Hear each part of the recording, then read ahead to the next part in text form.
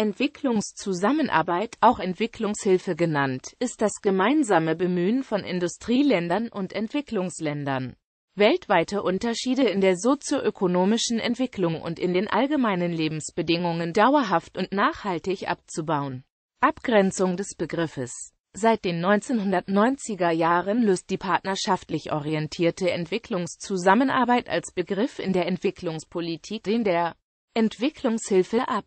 Entwicklungshilfe verfolgte im Kern weitgehend dieselben Ziele. Der Begriffswandel von Entwicklungshilfe hin zur Entwicklungszusammenarbeit illustriert den nunmehr herrschenden Anspruch einer partnerschaftlichen Gleichberechtigung von Geber- und Empfängerländern. Im Gegensatz zu der besonders in den Anfangsjahren dominierenden Rolle des Fachwissens und des Reichtums der Geberländer. Flüchtlings-, Hunger, Katastrophen und humanitäre Hilfe erfolgt hingegen kurzfristig und ist darauf bedacht, die schlimmsten Auswirkungen von Naturkatastrophen und Kriegen möglichst schnell zu mildern und die momentanen Lebensbedingungen zu verbessern.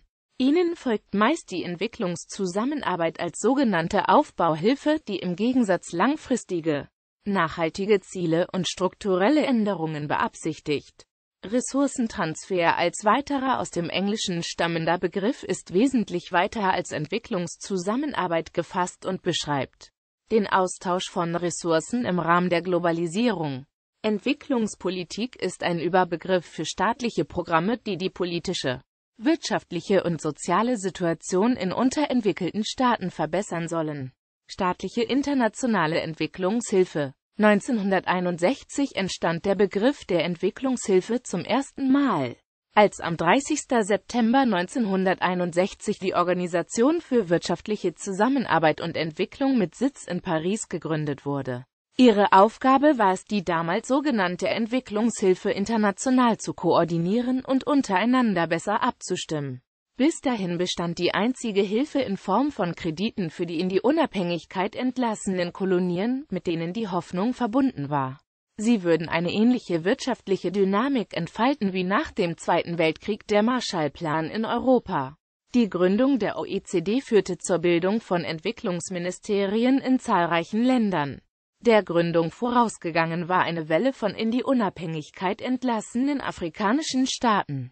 Die staatliche Entwicklungszusammenarbeit kann untergliedert werden in im Rahmen der multilateralen EZ leisten Industrieländer Zahlungen an überstaatliche Zusammenschlüsse und Organisationen, die diese Gelder verwalten und im Rahmen unterschiedlichster Programme an Entwicklungsländer auszahlen.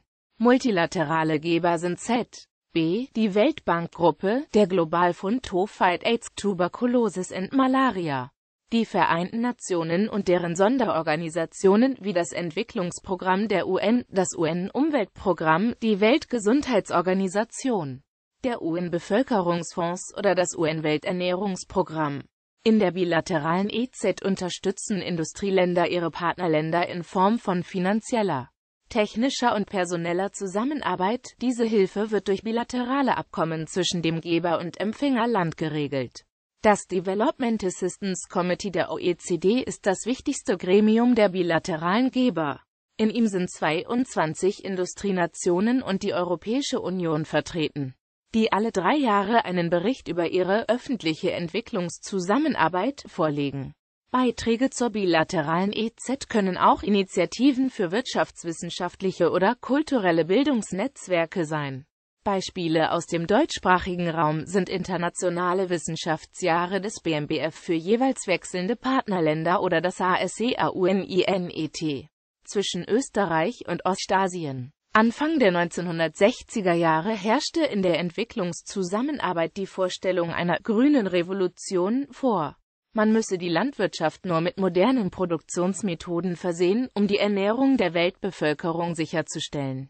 Die landwirtschaftliche Produktion wurde gesteigert. Allerdings wuchsen die Abhängigkeiten in der Landwirtschaft und das Wissen um traditionelle Anbaumethoden ging vielfach verloren. 1964 gründete sich die Gruppe der 77 als Interessenvertretung, der mittlerweile 131 Entwicklungsländer angehören. 1965 entstand das Entwicklungsprogramm der Vereinten Nationen. Seit 1970 koordiniert es die Programme und Aktivitäten der Vereinten Nationen. In seinem jährlich veröffentlichten Human Development Report legt das Entwicklungsprogramm eine umfassende Analyse der sozialen Entwicklungen in der Welt vor. 1970 formulierten die Vereinten Nationen das Ziel, dass die Industrieländer 0,7 Prozent ihres Bruttonationaleinkommens bzw. Bruttosozialprodukts für öffentliche Entwicklungshilfe aufwenden sollen. Es wurde bis heute von nur wenigen Staaten erreicht.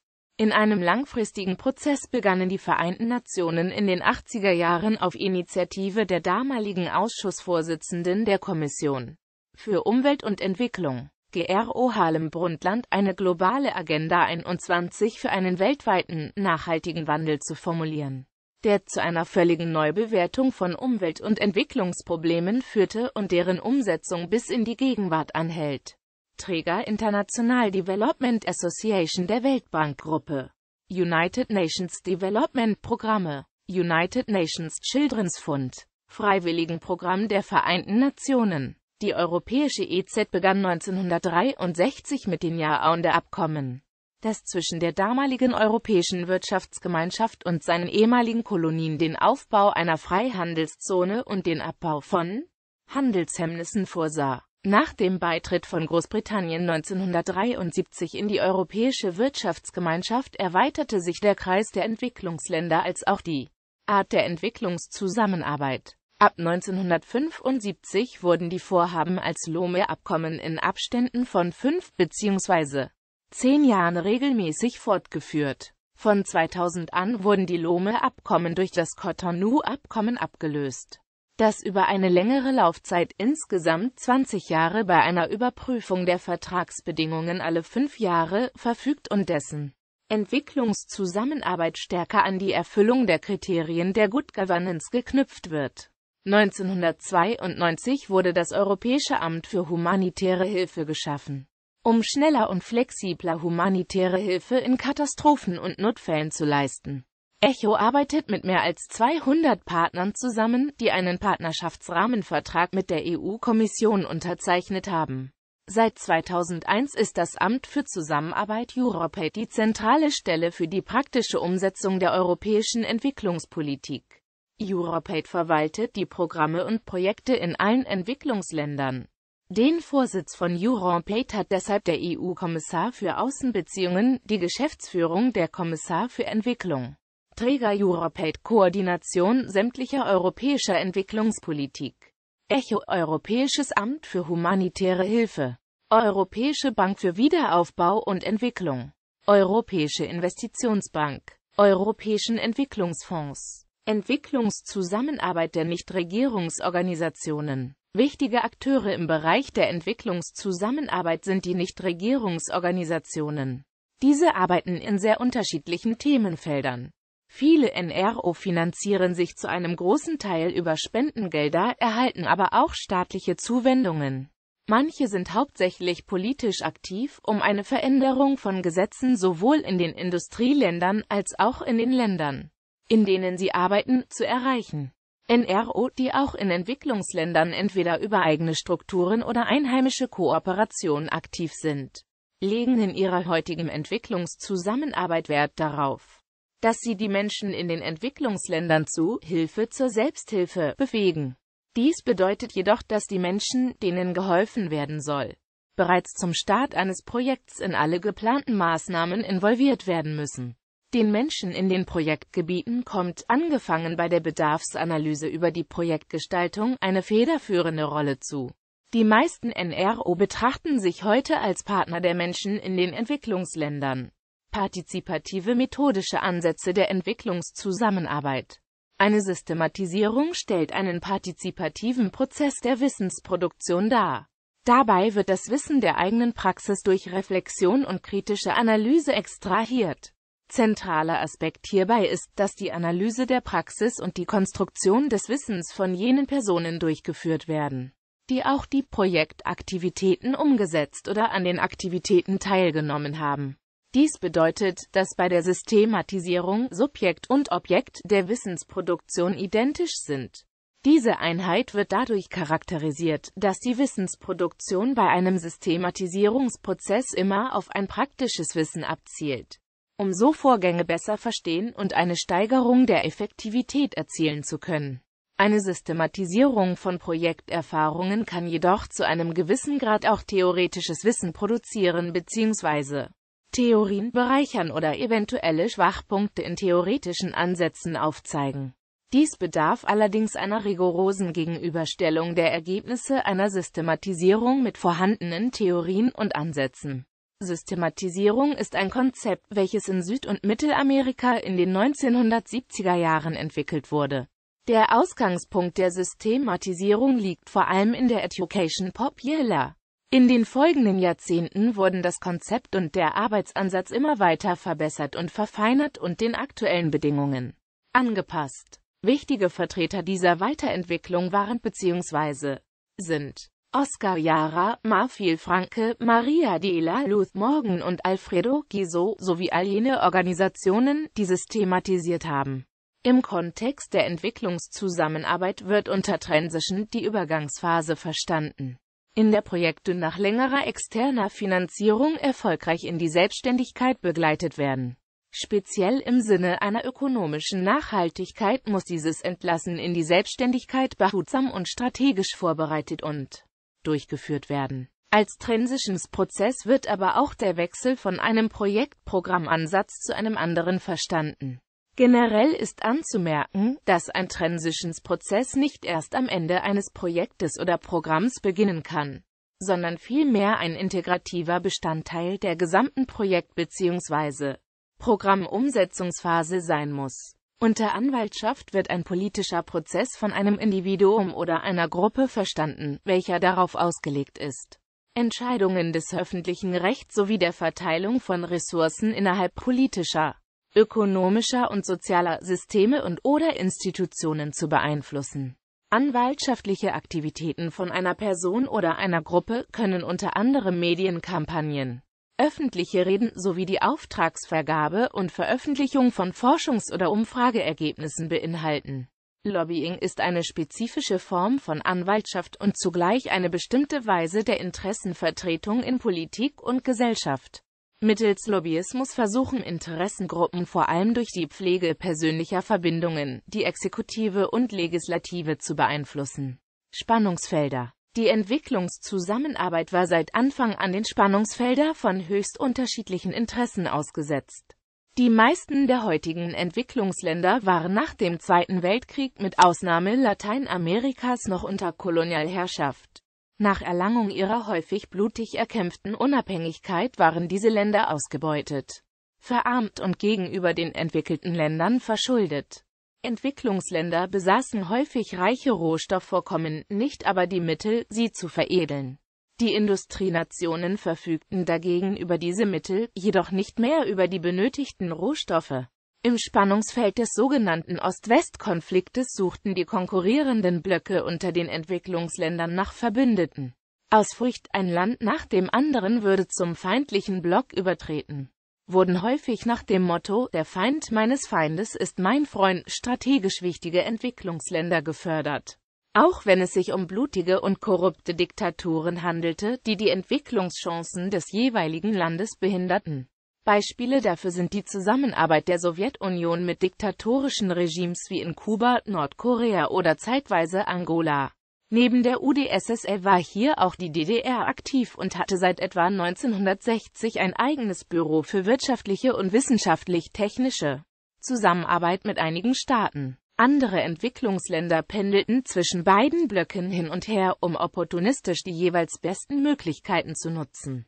Wiedergutmachung für erlittene Kolonialpolitik 1964 gründete sich die Gruppe der 77 mit mittlerweile 131 Entwicklungsländern als Mitglieder, die in der Charta von Algier die wirtschaftlichen Rechte der Dritten Welt, Wiedergutmachung für Jahrhunderte Kolonialpolitik und die Umgestaltung der Weltbank in eine Entwicklungsbank fordern. Eine zentrale Forderung ist es, jährlich mindestens ein Prozent des in den Industriestaaten erwirtschafteten Bruttosozialprodukts den Entwicklungsländern zugute kommen zu lassen. Internationaler Terrorismus Die Terroranschläge am 11. September 2001 in den USA nahm die US-amerikanische Regierung zum Anlass, nach eigenen Angaben aus sicherheitspolitischen Gründen Kriege gegen die Taliban in Afghanistan 2001 und 2003 gegen die Diktatur Saddam Husseins im Irak zu führen. Diese Sicherheitspolitik setzte neben politischen und militärischen Druckmitteln auch auf entwicklungspolitische Unterstützungsmaßnahmen, um die Entwicklungsländer zur Kooperation im Kampf gegen den Terrorismus zu bewegen. Sicherung von Absatzmärkten Einige der Entwicklungsländer, besonders im asiatischen Raum, bergen in sich ein enormes Potenzial von Wirtschaftswachstum und werden von den Industrienationen als zukünftige Absatzmärkte für ihre eigenen Produkte für wirtschaftlich strategisch wichtig erachtet. Gravierende Einschnitte in der Entwicklungszusammenarbeit Infolge des Yom Kippur-Krieges verhängten die arabischen erdölexportierenden Staaten vom Oktober 1973 bis März 1974 einen Ölboykott gegen Israel. Freundlich gesinnte Länder. Dies führte zu einer Energieverknappung in den Industrienationen und löste die erste Ölkrise aus. Zwischen 1973 und 1974 vervierfachte sich der Preis für Rohöl von fast 3 US-Dollar auf fast 12 US-Dollar. Die Entwicklung in den Entwicklungsländern wurde gebremst. Die sich verschlechternden Handelsbedingungen für viele ihrer Rohstoffe in den 70er und 80er Jahren führten zu sinkenden Deviseneinnahmen, die sie wiederum vermehrt für das verteuerte Rohöl ausgeben mussten. Dies verstärkte ihre Abhängigkeit von den Großkrediten der Geschäftsbanken. 1979 und 1980 stimmten die arabischen Erdöl-exportierenden Staaten für eine zweite Preissteigerungsrunde, die den Richtpreis für Erdöl auf über 30 US-Dollar anhob. In den Industriestaaten kam es zur zweiten Ölkrise und einer noch stärkeren Weltwirtschaftsrezession als nach der ersten Ölkrise. Banken und Regierungen erhöhten die Zinssätze wodurch die Probleme bei der Schuldenrückzahlung vor allem für die Entwicklungsländer verschärft wurden und zu noch geringeren Exporterträgen der Entwicklungsländer führten. In den 80er Jahren wurde es für die Entwicklungsländer zunehmend schwieriger, frühere Kredite von Geschäftsbanken zu decken. Und sie mussten sich an die Weltbank um Hilfe wenden. Diese gewährte in der Folge nur dann Kredite, wenn die Empfängerländer sogenannten Strukturanpassungsprogrammen zustimmten die Wirtschaftsreformen zur Verringerung der Importe und Förderung der Marktwirtschaft erzwangen. Der nach 1945 entstandene Ost-West-Konflikt endete 1989 bis 1991 mit dem politischen und ökonomischen Zusammenbruch der meisten kommunistischen Regime. Der Ostblock und seine Führungsmacht Sowjetunion fielen auseinander. Diese Vorgänge veränderten das internationale System und Ansichten in der Entwicklungspolitik in mehrfacher Hinsicht. Unterstützung menschenverachtender Diktaturregime, die mit Blockrücksichten entschuldigt wurden, erwiesen sich nun als überflüssig. Wie auch die aus dem Ost-West-Konflikt entstandenen Stellvertreterkriege zwischen und innerhalb von Entwicklungsländern. Es verbesserten sich die Chancen, gegenüber Entwicklungsländern Mindestbedingungen wie die Einhaltung der Menschenrechte, den Kampf gegen Korruption sowie Entwicklungsengagement zu fordern und die Einhaltung dieser Standards an die Weiterleistung von Entwicklungshilfe zu knüpfen. Andererseits hatte die Blockdisziplin auch zur Unterdrückung und Eingrenzung inner- und zwischenstaatlicher Konflikte beigetragen, die sich nunmehr verschärften und teilweise gewaltsam ausgetragen wurden. Strategisch interessante Entwicklungsländer konnten Ost und West nicht länger zum eigenen Vorteil gegeneinander ausspielen. Zudem fiel die Entwicklungshilfe der Ostblockstaaten schlagartig weg, die allerdings von bescheidener Größenordnung und zudem auf sozialistische, blockangehörige Entwicklungsländer wie Kuba und Nordkorea konzentriert gewesen war. Angesichts wachsender Probleme auch im Norden kamen es nicht zur Umschichtung von Verteidigungsausgaben zur Entwicklungszusammenarbeit. Des Weiteren kam hinzu, dass nun ein Teil der früheren Ostblockländer mit den Entwicklungsländern um die Mittel des Westens konkurrierte. Mit dem Kommunismus war auch das zentralistisch-planwirtschaftliche Entwicklungsmodell der Ostblockstaaten gescheitert, das mit starkem staatlichem Zwang gearbeitet hatte.